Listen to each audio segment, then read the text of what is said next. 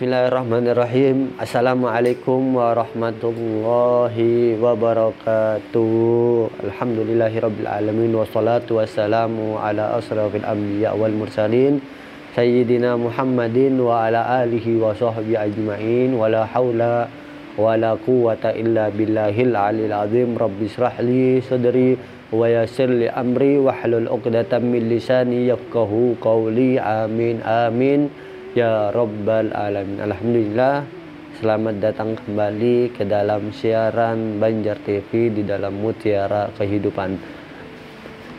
Kita akan teruskan daripada pembelajaran kita di dalam kitab Idul Mukhtar. Qala al-mu'allif radhiyallahu anhu Qalu. Ulama mengatakan Innallaha zayyana sama'a bitalacati asya. Allah subhanahu wa ta'ala menghiasi Allah menghiasi daripada langit itu dengan tiga macam. Allah menghiasi langit dengan tiga macam. Bisamsi wal qamari wan nujumi. Dengan apa? Yang pertama dengan matahari. Kita sudah lihat begitu indahnya matahari, apalagi sudah mendapatkan daripada momen gerhana matahari, gerhana cincin, bagaimana tuh? Kita sudah lihat yang sudah kita lalui beberapa tahun yang lalu. Orang daripada luar negeri pun melihat daripada gerhana matahari untuk mendapatkan daripada momen tersebut. Nah. yang kedua yaitu wal qamari. Yang kedua itu adalah bulan. Bagaimana bulan tidak indah? Di atas menerangi malam-malam hari. Ada bulan sabit bulan purnama. Banyak macam-macam daripada bulan. Kita melihatnya dengan takjub luar biasa. Bagaimana bulan itu diciptakan sangat indah. Dan juga salah satunya yaitu adalah wajah Nabi Muhammad SAW seperti bulan purnama. Kita bayangkan setiap hari kita melihat bulan pertama bagaimana indahnya wajah Nabi Muhammad SAW mudah-mudahan kita dapat bertemu dengan Nabi Muhammad SAW amin amin ya rabbal alamin. Yang ketiga yaitu wan nujumi yaitu bintang-bintang. Ah, bintang-bintang yang ada di atas sangatlah bagus menemani malam kita. Wajayyanal arda dan Allah menghiasi daripada bumi ini apa? Bicara satu asya dengan tiga macam juga yang pertama apa? Bil ulama'i dengan ulama. Ulama ini adalah perhiasan Allah subhanahu wa ta'ala untuk bumi kita. Mari jagalah ulama-ulama kita. Jangan kita caci ulama-ulama kita. Jaga mereka. Karena mereka itu diperlukan. Sampai di akhirat pun mereka ulama-ulama diperlukan. Seandainya seandainya ulama kita bunuh, ulama kita caci maki, mereka bilang sesat apa pun itu. Bagaimana mereka mau menyelamatkan kita di akhirat nanti? Wal matari yang kedua yaitu dengan hujan. Allah menghiasi bumi ini yang kedua dengan hujan ketika hari panas Allah memberikan kita nikmat yang sangat luar biasa yaitu hujan seandainya hujan pun tidak ada maka bisa seandainya seandainya bisa lautan kering sungai-sungai kering bagaimana kita bisa mengambil air? Itu sudah kita lalui dari banjir kemudian kemarau kemarau sampai sumur kering. Di situ Allah memberi cobaan kepada kita. Ketika sumur kering baru kita ingat kepada Allah Subhanahu wa taala. Baru kita meminta kepada Allah Subhanahu wa taala. Ketika Allah berikan kepada kita hujan kita banyak mengeluh kepada Allah Subhanahu wa taala. Mari kita perbaiki diri kita yang terus terus terus terus terus bersyukur kepada Allah Subhanahu wa taala. Wal imamul adil yang ketiga yaitu adalah imam yang adil ini adalah perhiasan Allah Subhanahu wa taala yang sangat lumayan jarang ditemui untuk zaman sekarang imam yang adil atau bisa disebut camat, lurah, RT, presiden, gubernur, wali kota, semuanya. Anda telah diberikan amanah oleh para masyarakat. Masyarakat memilih Anda supaya Anda bisa mengayomi daripada masyarakat tersebut. Kenapa Anda semua dengan seenak-enaknya memakai pangkat Anda untuk menyiksa daripada masyarakat. Di mana hati nurani Anda? Anda terpilih oleh masyarakat, tetapi Anda dengan seenaknya menyiksa mereka. Sadarlah para pejabat, sadarlah para semuanya yang sudah disebutkan oleh saya satu persatu. Khamsatun mautuhum naksun. Lima. Lima ini yang makna kematian mereka atau akan berkurang. Yang pertama yaitu mu'allimul Quran, orang yang mengajarkan Al-Quran. Orang yang mengajarkan Al-Quran ketika mereka meninggal itu akan berkurang mereka. Terasa berkurangnya.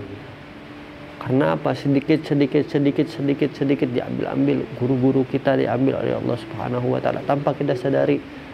Jikalau bukan karena mereka kita tidak bisa membaca Al-Qur'an. Tanpa kita sadari semuanya akan berkurang. Yang kedua adalah al-farisus suja. Orang yang berkudara, yang memakai kuda dengan pemberani. Banyak orang yang bisa berkuda tetapi mereka tidak berani. Artinya untuk melalui peperangan mereka tidak akan berani. Yang ini yang akan berkurang jikalau meninggal. Yang ketiga yaitu algoniul karim. Nah ini dia. Algoniul karim orang kaya yang dermawan itu akan berkurang. Kalau orang kaya banyak. Kalau orang kaya banyak betul sekali banyak sekali. Akan tapi banyak yang pelit. Nah, akan tetapi yang dermawan yang sedikit. Mereka lebih mencintai dunia mereka daripada akhirat mereka. Dan untuk orang yang dermawan mereka lebih tahu mereka tahu kalau dunia ini hanyalah tipu-tipu saja mereka tahu di mana yang dikatakan oleh Syekh Abdullah Bausaudan beliau mengatakan dunia kama hilil makar wa inna ma hilil mamar. Fakir wa am'in fin nazar wa la takun kasaima. Dunia kama hilil makar dunia ini bukan tempat tinggalmu. Wa inna ma hilil mamar. Dunia ini hanya tempat lewatmu saja. Fakir wa am'in fin nazar perenungkanlah pikirkanlah di dalam dunia ini karena engkau di dunia ini tidak selamanya. Wala takun kasaima, jangan engkau seperti hewan. Yang mana hewan itu tidak memikirkan apa yang ada di dunia ini. Nah, itu dia. Ketika orang untuk beramal sedikit, akan tapi untuk bermaksiat luar biasa. Nomor satu. Ketika untuk saweran, dangdut, apa pun, mereka nomor satu akan tetapi untuk kebaikan, untuk merayakan Nabi Muhammad, untuk menyayangi Nabi Muhammad, untuk menceriakan Nabi Muhammad, untuk membahagiakan Nabi Muhammad yang mana Nabi Muhammad memberikan kalian syafaat, kalian tidak mau. Kalian lupa siapa kalian. Nabi Muhammad berdakwah untuk kalian mati-matian akan tapi kalian tidak mau mati-matian membela Nabi Muhammad sallallahu alaihi wasallam. Kalian lupa dengan Nabi Muhammad sallallahu alaihi wasallam. Dan ketika kalian di akhirat, kalian meminta syafaat Nabi Muhammad sallallahu alaihi wasallam. Apa pengorbanan kalian untuk Nabi Muhammad sallallahu alaihi wasallam? Yang keempat yaitu al-alim al-amil. Orang alim yang beramal. Orang alim banyak, tapi orang yang beramal sedikit Fa'alimun bi'ilmihi lam ya'malan mu'adzabun min qabli ubadil wasan. Orang alim yang memiliki ilmunya akan tapi dia tidak mengamalkan daripada ilmunya akan diazab sebelum orang yang menyembah berhala. Karena apa? Karena mereka sudah tahu hukum-hukumnya apa. Akan tapi dia mereka ini tidak mengamalkan. Apalagi ulama-ulama pada zaman sekarang banyak ulama-ulama yang mencintai dunia. Mereka menghalalkan sesuatu yang haram. Akan tapi Allah Subhanahu wa taala sudah mengatakan sesuatu yang haram tidak akan menjadi halal. Dan ulama-ulama kita yang ada sekarang ulama-ulama su itu apa? Mengubah hukum Allah Subhanahu wa taala karena dunia. Ketika mereka mendapatkan dunia mereka mengubah daripada hukum-hukum Allah Subhanahu wa taala dengan seenaknya. Siapa mereka? Mereka bukan diciptakan. Mereka diciptakan oleh Allah Subhanahu wa taala, akan tapi bukan untuk mengubah daripada hukum Allah Subhanahu wa taala. Sadar kalian, sadar. Yang kelima yaitu al-imamul adil. Ini adalah imam yang adil yang mana sudah saya jelaskan pada sebelumnya para pejabat, para DPR, DPRD, semuanya, presiden, camat, lurah, bersikaplah adil kalian terhadap masyarakat kalian. Jangan mereka sudah memilih kalian, kalian membuat sakit hati mereka.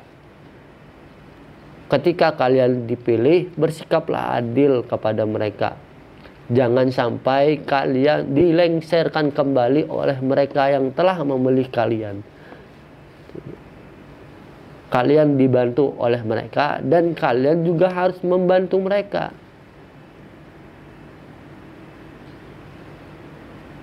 Pikirkanlah itu semuanya. Pikirkanlah. Mudah-mudahan yang yang saya sampaikan ini bisa bermanfaat untuk semuanya. Wassalamualaikum warahmatullahi wabarakatuh.